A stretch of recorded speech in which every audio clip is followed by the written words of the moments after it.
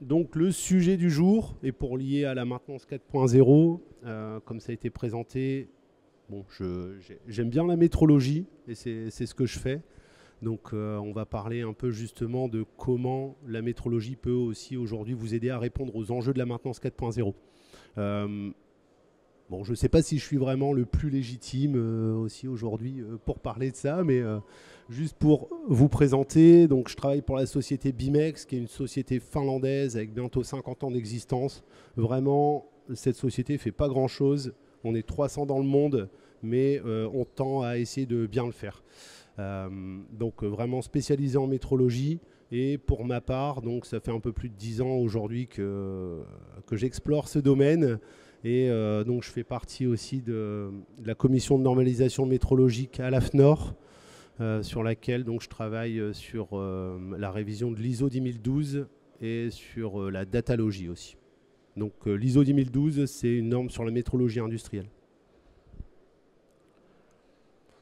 Rapidement, Bon, j'ai pas euh, la prétention d'avoir la définition pure de la maintenance 4.0. On entend un peu tout et n'importe quoi.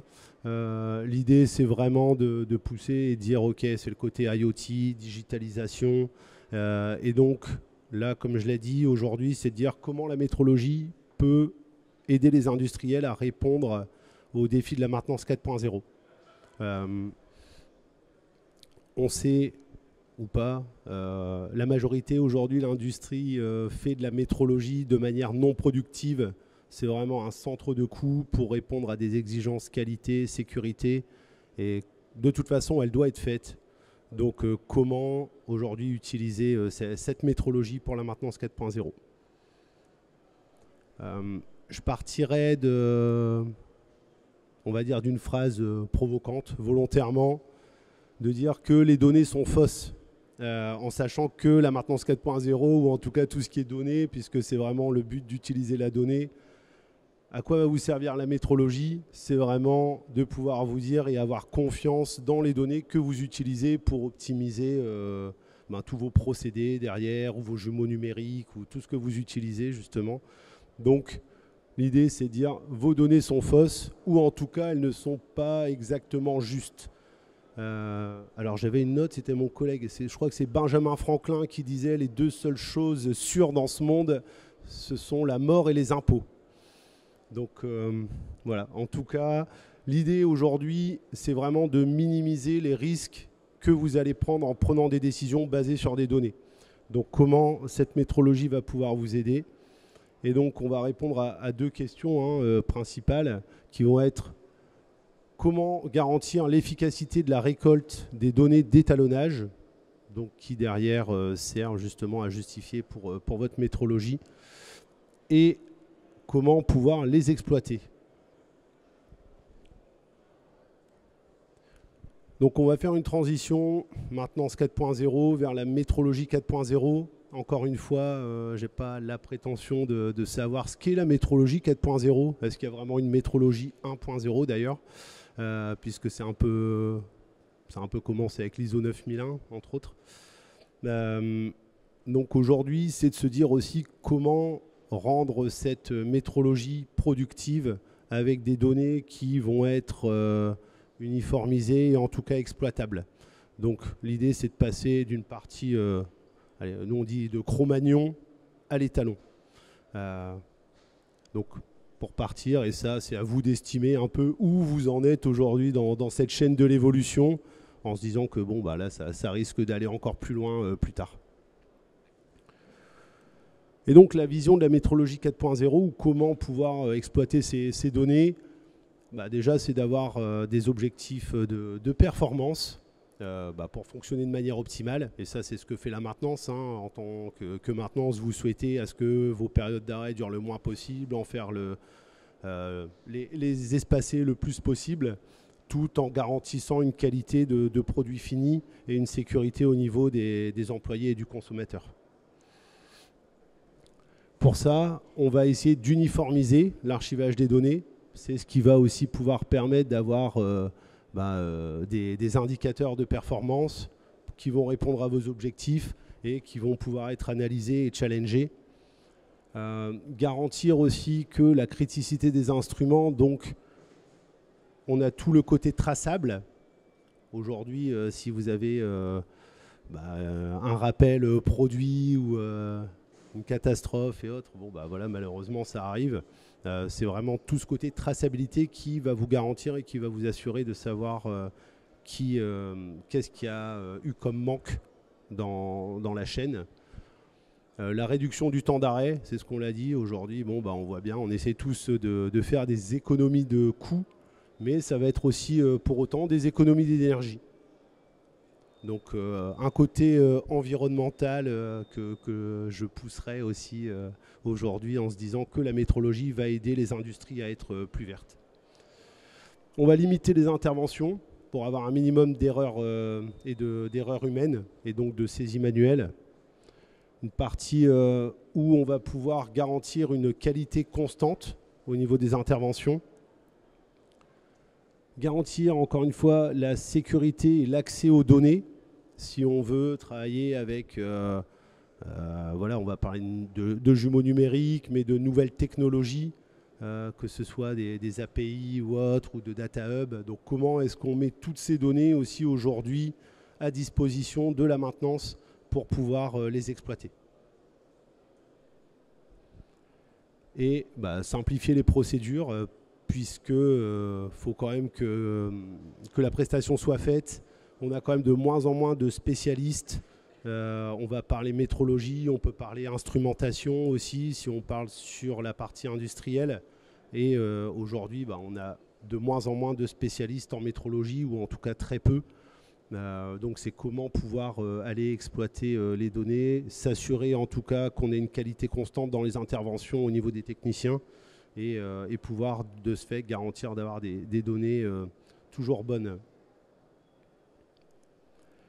Donc si on se base sur aujourd'hui la métrologie, qu'est-ce que c'est? On se retrouve, on a un constat de vérification, une étiquette verte, tout le monde est content c'est pas uniquement ça, en fait, c'est pas uniquement un constat. Là, on va se dire, on a trois niveaux d'information qui vont être exploitables. Donc, les données informatives qui vont être bien pour euh, les inspections, les auditeurs, euh, de se dire ok, qui l'a fait, quand, on a toute la traçabilité jusqu'aux étalons primaires. Euh, voilà, on, sait que l'intervention a été faite et elle répond à nos besoins en termes de sécurité, aux exigences sanitaires qu'on nous donne. On va avoir les données de performance. Donc si on regarde tout ce qui va être incertitude, erreur, euh, derrière euh, sur toute la partie métrologie et le côté mesure des instruments. Donc comment est-ce que les instruments qui sont vérifiés se comportent et le côté amélioration continue. Encore une fois, on va vouloir optimiser les périodicités d'étalonnage, ça c'est un gros sujet. On va vouloir aussi aller challenger les tolérances process peut-être. Euh, les erreurs qu'on met pour optimiser les instruments qu'on va mettre en place pour la régulation, pour la sécurité. Et donc là-dessus, on part d'un constat hein, simple qui est aussi euh, que veulent les industriels. Bon, vous pouvez me contredire, mais euh, vous voulez pas que ça, j'imagine. mais c'est l'optimisation. La réduction des coûts, l'optimisation des activités humaines, des ressources, de l'énergie. encore une fois, il y a quand même des tendances à, ce qu'on soit de plus en plus, euh, pardon, j'ai le terme anglais, environmental friendly, mais qu'on soit de plus en plus écolo ou autre. Et en tout cas, la métrologie permet ça aujourd'hui. Donc, ce qu'on peut constater, comment arriver aussi euh, à avoir cette uniformité des données. Euh, un problème qu'on a constaté, on a quand même beaucoup de, de sous-traitance aujourd'hui. Je connais peu d'industriels qui ont la capacité de vérifier toutes les grandeurs physiques mesurables sur leur site. Donc on va faire appel à des équipes, comme on l'a dit, peut-être pas forcément des professionnels d'ailleurs, mais des prestataires, des laboratoires pour vérifier nos propres étalons. Donc on va avoir des données qui ne vont pas être uniformes. Ça, ça va être un problème aussi bah, de ce fait qui va prendre de l'ampleur, puisqu'on va avoir de plus en plus de prestataires différents qui utilisent leur propre format, avec euh, qui vont nous donner des PDF, qui vont nous donner, et, avec des données qui ne sont euh, pas du tout digitalisées, euh, difficilement digitalisables. Donc ça, c'est pour introduire aussi un projet qui se déploie niveau... Alors, l'initiative est en Allemagne. Euh, là, ça commence à, à prendre de l'ampleur aussi niveau européen et même aux États-Unis. C'est tout ce qui est... Donc ça s'appelle le DCC, le Digital Calibration Certificate, donc le certificat d'étalonnage numérique en français. Il y a aussi aujourd'hui le CFM, le Collège français de métrologie, qui, suit le dossier avec le LNE. Tout ça pour dire comment aujourd'hui faire, en fait c'est un MP3 du certificat d'étalonnage. L'idée, c'est de dire que vous ayez euh, une solution comme celle de Bimex, que vous ayez une solution comme euh, j'ai vu d'autres confrères aussi, euh, ou des GMAO ou autres. Comment ces données, on va pouvoir les faire transiter, les exploiter et s'assurer aussi d'avoir un format qui soit toujours intègre. Donc ça, c'est vraiment la, partie aussi, euh, une des initiatives qui existent aujourd'hui et qui se déploient dans le cadre de l'optimisation de cette maintenance 4.0 pour la métrologie, pour pouvoir exploiter les données. Alors les cas d'application, on l'a dit, hein, et on va voir, donc la donnée métrologique va servir à faire des analyses d'impact, D'où le fait de, l'importance de pouvoir euh, les exploiter de, bonne manière et en tout cas euh, pouvoir les récolter et les renseigner.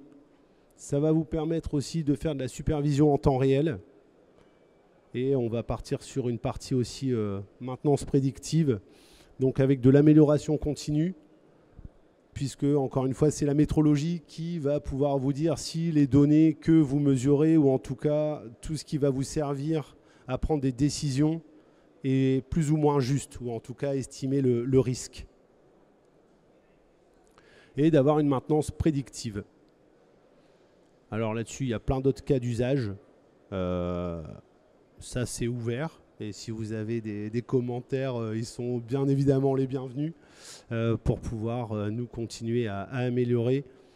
Et un des points euh, que je voulais mentionner, alors je ne sais pas si je suis hors sujet ou pas, mais avec la partie maintenance 4.0, je vais allier ça aussi quand même bah, au bien-être humain, à la qualité en fait de, travail, euh, de sérénité et de pouvoir, euh, de pouvoir justement garantir le fait bah, d'avoir de la reconnaissance au travail sur ce qu'on fait, on se dit on, a les bons outils, on ramène les bonnes données aux bonnes personnes pour qu'elles puissent prendre les, meilleures décisions. Et pas uniquement pour faire de l'argent, pas toujours. Voilà, on apporte de la valeur ajoutée, on répond à la politique RSE aussi de l'entreprise. Euh, ça garantit aussi la fluidité au niveau des échanges puisqu'on a tous accès à la même information, on la comprend au même format, donc on peut échanger parmi des, grands groupes industriels aussi, de, garantir cette uniformité, de pouvoir euh, euh, faciliter euh, les échanges, faciliter les certifications. Encore une fois, la partie métrologie, c'est toujours, on se retrouve avec des inspecteurs, des auditeurs, donc ça c'est lourd, c'est compliqué. Comment faciliter aussi bah, la vie des gens audités, la vie des auditeurs, hein, quelque part, pour qu'ils puissent mieux comprendre ce qui se passe. Euh, monter en compétences, quand on a des gens qui font que de la saisie manuelle ou autre toute la journée, bon, bah, on peut se retrouver aussi euh, mis dans un entonnoir et pas, pouvoir bien se développer comme on souhaite. Euh, on va pouvoir trouver du sens aussi aux tâches qu'on va faire, puisque aller vérifier un instrument en montée-descente ou autre, qu'est-ce que ça veut dire en fait? Qu'est-ce qu'on en fait de, ces infos-là? On va avoir du stress qui devrait diminuer, puisqu'on devrait faire moins d'erreurs grâce à la maintenance 4.0, encore une fois. Et on va pouvoir bah, attirer et retenir les, talents. Euh, on sait que c'est compliqué aujourd'hui de, recruter des personnes, de les garder, de les faire progresser et, euh, de les faire adhérer à la société. Donc un cas client, pour, euh, terminer, donc qui est la centrale EDF e de Bouchain, donc qui, ont revu là, qui ont un cycle combiné gaz, euh, qui eux avaient une problématique, c'est justement ils avaient beaucoup d'étalonnage euh, à faire pour leur métrologie pendant une période de maintenance réduite. Donc euh, voilà, ils utilisaient du papier. derrière, il n'y avait vraiment aucune automatisation. Le système était fermé aux prestataires. donc ils se retrouvaient avec différents prestataires qui venaient, d'autres. voilà, pas, d'uniformisation et pas la possibilité de traiter. Donc vraiment, les conséquences, c'était bah, la préparation de, la période d'arrêt, qui était ultra complexe, fastidieuse, euh, et euh, le fait d'avoir des contrats sur des prestataires et autres. Ça, c'était une volonté d'EDF de, de pouvoir aussi comparer les prestataires et savoir ce qu'eux font réellement, pour garantir encore une fois bah, la sécurité des personnes et l'image de la marque. Donc là, chez Bimex, on leur a proposé une solution à base de hardware, software, donc euh, matériel logiciel, pardon pour euh, les quelques anglicismes. Euh, vraiment un, écosystème complet pour la métrologie, destiné aussi à s'intégrer dans leur système de maintenance, de gestion des ordres de travail et, de pouvoir justement avoir aussi bien des informations descendantes de la GMAO, donc du système de gestion de la maintenance, vers le système de gestion de la métrologie et de remonter aussi euh, les informations avec derrière de, l'analyse d'indicateurs euh, sur les performances de la métrologie. Et d'avoir un système qui soit euh, ouvert aux prestataires avec des solutions simples à utiliser. Donc à la fin, on a, là, j'ai vraiment cité, ça va être que les gains euh, que je vais appeler hard. on ne voit pas le bien-être des personnes. Euh, ça, c'est vraiment un peu plus dur à estimer. Mais encore une fois, j'aime à penser que ça y contribue. Donc, vraiment, le fait de dire, déjà, ils ont diminué euh, quasi de moitié le, temps d'arrêt. quand on sait combien ça coûte, en tout cas pour un industriel, une journée d'arrêt, c'est quand même assez conséquent. Et grâce à la donnée, qu'on leur a mis en place et qu'on a pu exploiter, donc avec euh, des systèmes d'analytics, grâce à, cette uniformisation en fait et à l'ouverture du système pour leurs prestataires, ils ont pu justement euh, bah, maîtriser et avoir une meilleure connaissance des coûts, des coûts liés pour euh, vraiment garantir cette optimisation et analyser aussi les performances de leurs sous-traitants et s'assurer qu'eux-mêmes soient euh, capables d'assurer euh, bah, ce qu'ils veulent, aussi bien d'un point de vue euh, formation, pour savoir aussi comment mieux les accompagner. Donc voici brièvement ce que j'avais à vous dire. Je vois qu'il est 10h50. Ça a été assez rapide, donc c'est, je ne suis pas mécontent là-dessus. On est, on est bien étalonné. Donc, Parfait. La précision. on, se garde 10 minutes et euh, je veux savoir qui n'a pas de questions. Ah, moi, je vais en avoir une. Toi, tu n'as pas de questions? Une petite question sur la, les différents cas d'application que vous avez euh, énoncés, donc euh, différents besoins finalement qui expriment aujourd'hui les entreprises et qui nécessitent vos systèmes. y en a-t-il un qui, en, est majoritaire Est-ce que c'est plutôt la maintenance euh, prévisionnelle Est-ce que c'est plutôt euh, voilà, l'étalonnage Enfin, voilà, qu'est-ce qui aujourd'hui euh, répond au plus de demandes? Ah, Aujourd'hui, on va dire la partie métrologie rentre généralement dans le cadre d'une maintenance préventive. Ah, si on fait du curatif, on, agit quand il y a la panne. Le, côté préventif, fait que justement, bon, bah, on souhaite pouvoir le faire en avance et réduire les coûts d'immobilisation l'idéal, c'est de faire euh, du préventif pour aller vers le prédictif, pour pouvoir euh, se dire, euh, OK, comment est-ce qu'on réussit à le faire 10 minutes avant que, ça dérive trop. Quoi. Et ça aussi, donc, et la métrologie seule, ou en tout cas les étalonnages seuls, ne peuvent pas permettre de le faire. Il faut pouvoir recouper ces données avec l'historique de tout ce qu'on a pu accumuler vers avec les données euh, maintenance en temps réel, avec tout ce qui va être IoT, de pouvoir remonter et recouper les informations. Euh, les informations, je dirais, pour moi, de, mesure, de diagnostic, peuvent pas toujours être suffisantes, en tout cas. Donc le, côté métrologie garantit cet aspect-là aussi de, comme je l'ai dit au départ, de s'assurer que les données qui vous servent à prendre des décisions sont maîtrisées. Et justement, sur cette maîtrise, la maîtrise de vos instruments, est-ce que c'est accessible à un responsable maintenance euh, Ou alors il faut être quand même euh, capé euh, métrologue ou peut-être pas métrologue, mais enfin déjà avoir une, certaine culture de la métrologie et de la mesure? Ah, On va dire, il y, a deux aspects. Hein. Il y a le côté où on va aller récupérer les informations donc là, on tend à faire des systèmes qui soient de plus en plus simples, puisqu'on a euh, des, techniciens terrain et qui on demande de plus en plus de choses à faire et qui doivent être multifonctions. Donc on a rarement aussi aujourd'hui de plus en plus des instrumentistes vraiment spécialisés avec une base métrologie. Euh, par contre, après, c'est certain que les personnes qui doivent, elles, mettre en place les systèmes et peut-être aller regarder les données et les comprendre, c'est mieux si elles ont une appétence sur la métrologie. Euh, là, après, on tend à mettre des systèmes en place aussi euh, basés sur des normes pour faciliter l'interprétation des données. de toute façon, là, on va tendre vers aussi tout ce qui est intelligence artificielle. Et pour ça, on, voit bien qu'on a besoin de, données uniformes, bien faites, de modèles derrière qui soient exploitables. et là, tant qu'on n'a pas ces modèles-ci, en effet, on a besoin de spécialistes de la métrologie. Par contre, euh, après, une fois que les process sont en place, ça peut être un petit peu plus discutable. Mais euh, au moment de la mise en place de nouveaux procédés, savoir quelle mesure, de quelles mesures on a besoin pour fabriquer euh, un doliprane ou un yaourt pour qu'il soit sans, risque pour le consommateur avec le, minimum. Là, ce, qu'on se rend, ce dont enfin, moi je me rends compte aujourd'hui, je ne vais pas faire une généralité, mais c'est qu'on fait de la surqualité pour pallier justement à ce manque de connaissances. Donc la surqualité a ben, un coût hein, en termes d'argent, un coût environnemental, euh, un coût au niveau euh, des, solutions qui doivent être utilisées ben, pour les maintenir, pour les vérifier et autres. D'accord. Est-ce qu'il y a une question dans l'Assemblée? Oui. Est-ce que vous installez des systèmes chez vos clients ou vous venez faire des mesures pour les aider ponctuellement ou vous leur vendez une solution globale qui est installée chez eux ou comment, euh, alors, merci pour votre question et j'apprécie que ce soit suffisamment flou de savoir ce que Bimex fait pour, euh, pour euh, que ce soit pas une promotion commerciale.